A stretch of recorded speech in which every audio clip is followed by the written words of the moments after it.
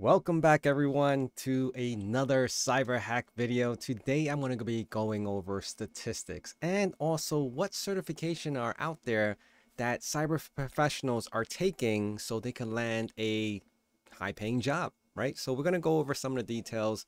I have two sites up right now and I'll share that with you. Actually, it's in the description already. So I want to go over a few things because it's pretty interesting. You have to know these things if you're going to target something very specific, right? You basically have to do your homework, your due diligence, so you can actually target and manipulate the data that you have or manipulate the surrounding or the information that you have to use it to your advantage. So this is what we're going to go through today.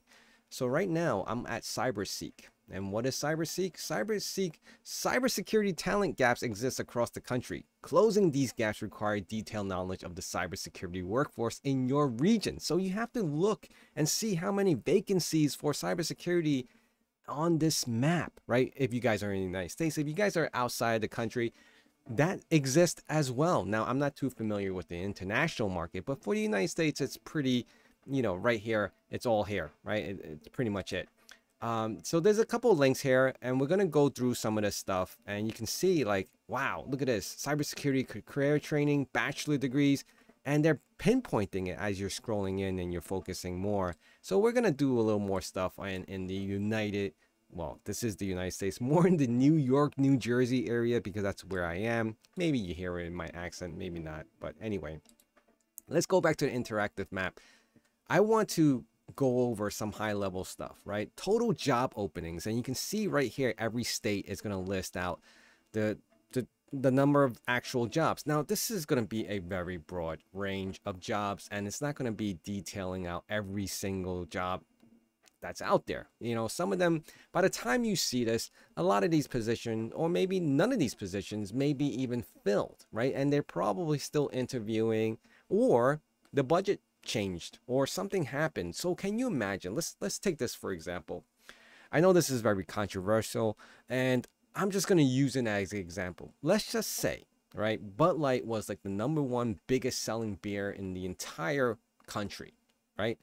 And because of whatever issues they went through, they lost a lot of jobs, right? Well, well, they lost a lot of revenue, which equate to losing jobs and people who were delivering the, the, the merchandise and people who were, you know, making the merchandise. I, I, I've read to a point where, you know, truck drivers, the people who were bottling the, the beer lost a lot of jobs. So can you imagine that will obviously because of the revenue and it's going to trickle back down, right? So these the IT positions or the cybersecurity jobs that were within that uh, organization probably has diminished as well, meaning it, it went down to a lower level of employees.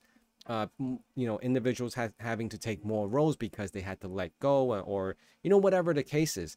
Now, that can happen to a lot of these organizations, right? It, it, you know, it can be prosperous one day and then the next day they did something wrong. They made a bad trade, uh, you know, and, and, and the company just goes bankrupt, right? Overnight. And that's not an uncommon thing nowadays, right?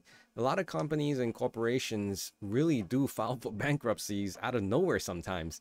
Uh, so unfortunately, you have to deal with that, those situations. But for the most part, anyone who's posting a job is probably more, you know, hopefully that they're more stable. Anyway, let's get into this. Right now, I said that I was going to focus on New York and New Jersey. So New Jersey has about 16,000 only because it's, you know, geographically closer to me if I was to opt and go look for a new position. And within New York, there's 27,000 job openings. Now, that's a big range, right? So we have to focus on total employee cybersecurity workforce national 2023 over a million of them, okay? And of course, if you want explanation, you click on the uh, information I little circle shows the estimate number of workers employed in cybersecurity related jobs from May 2022 to through April 2023. So that's pretty interesting. There's a lot of jobs now focused on cybersecurity. Now, the total cybersecurity job openings total national across the whole board is 663. So, you know, there, there's a lot of positions to be filled but it really has to depend on what kind of positions are these, right? They're just generalizing cybersecurity now because cybersecurity is a very broad term nowadays. So let's go over some of the stuff which is probably more interesting to you guys and you would want to know more. Like you you you go on YouTube and you probably seen YouTube videos where like these are the top certifications or you Google on uh, you know, for what's the top certifications in cybersecurity and what makes the most money. So here it goes. Um, certification holders, oh, these are the certification holders. And then we're going to compare it to the opening requesting certifications from companies looking for particular certifications. So Security Plus, it's a pretty standard certification nowadays. Uh, pretty common. Uh, that that was like the, it will start your basis off of your comprehension of security, right?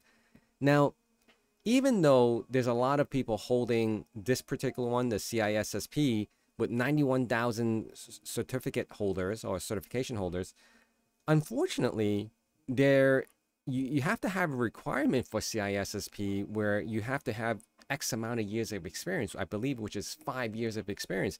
And a lot of people who are taking some, you know, some of them who are taking this exam may not even qualify for that and you have to kind of get the associate. So you're not fully CISSP but you pass the exam until you qual until you satisfy all the other requirements then you become a full-fledged CISSP that's I think that's where the the differences come in where non-experience and experience but even though you have a certification that says you have experience but you don't have the experience kind of confusing isn't it? So CISSP uh, and then we have a couple other ones going down the list. Uh, these are the ISACA ones. These are combined CISA and CISM. And then uh, CIPP, uh, Certified Information Privacy Professional. So a very low count there. And the, the privacy professionals usually are not the very technical aspect of cybersecurity. Those are the you know the policy side, uh, the paper side, the paper pushers of cybersecurity. I hate to use that term, but it is true. That's what they do. So opening requesting certifications. A lot of corporations are looking for the CISSP. And good news for the entry level guys, Security Plus is trailing a little bit behind, not too far, a little give or take 10,000 difference between CISSP and Security Plus. So does that mean all the other certifications below this is probably not even worth your time. Not entirely true. Not entirely true because from my experience so far, I have seen a lot of companies postings for jobs have always listed out multiple certifications. It's always one or the other.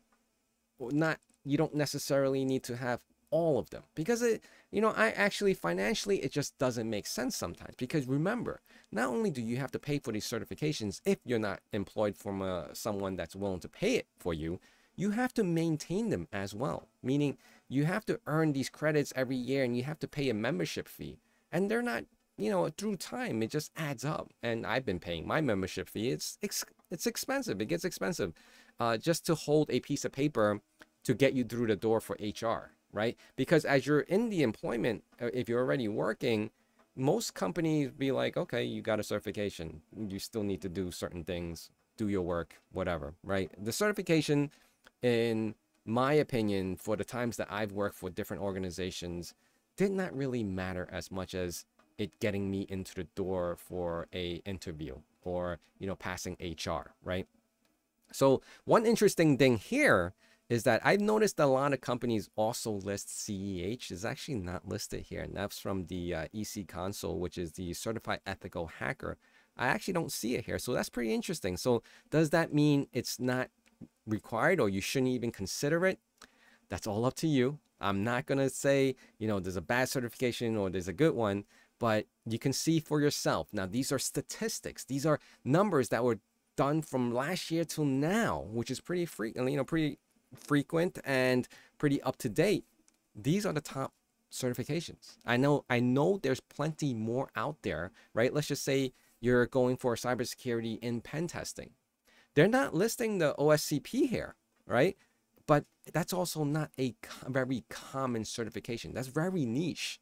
And uh, most of these certifications here that we're seeing Security Plus and CISSP and uh, CISM, they're very vendor neutral. They're very like, you know, just very open to you understanding the concept of cybersecurity and they're not drilling down to specific tools, specific vendors, or, you know, they're not talking about Microsoft. They're not talking about like the MOVEit breach that just happened recently. So they're very vendor neutral. So that's why these certifications are actually here, uh, opposed to, uh, but then again, the CEH is probably should, I think it's also neutral, but I think they use a lot of tools in there that are very specific. So anyway, let's go over some of the high level stuff, right? And we uh, career path, skills and certifications.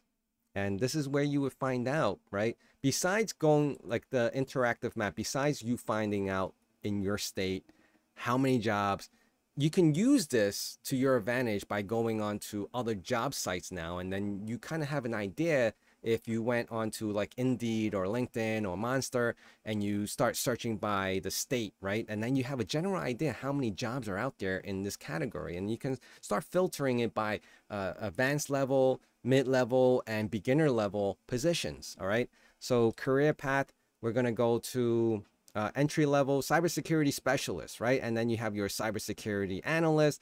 This is very interesting. The, the interactiveness of this and also estimating the average salary. Now, average salary also depends on what state you're coming from, right? Some mid state where the cost of living is lower, the, the pay is actually a little less in comparison if you were living in a major metropolitan uh, city, right? Comparing New York and California. So you got those two spectrums of East Coast, West Coast.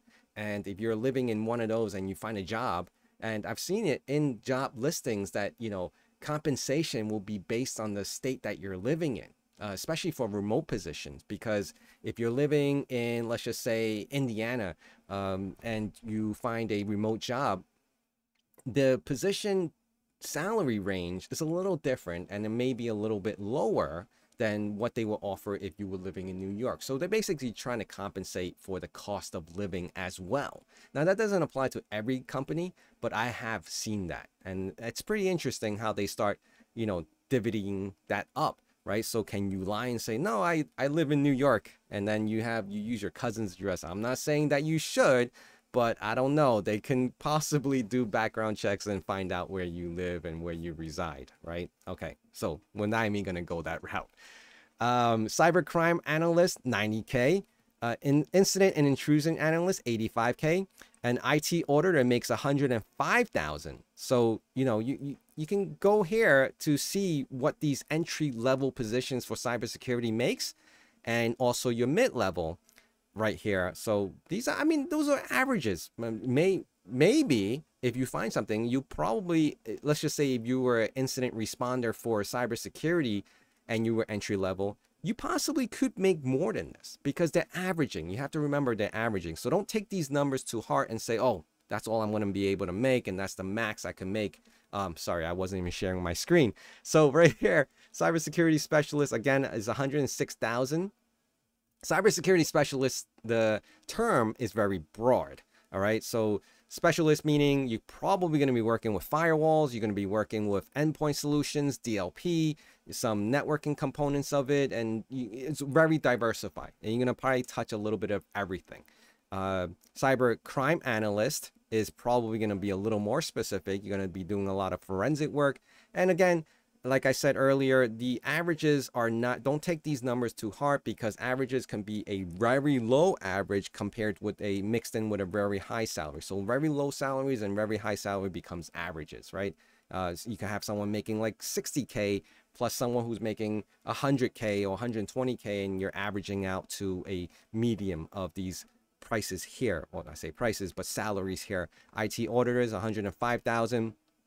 So I'm probably in the mid I, I would say I'm in the mid level side of it and I'm not a pen tester. So maybe I'm in advanced level because my average I'm above. All right. So I, I was actually categorized as a cybersecurity engineer architect.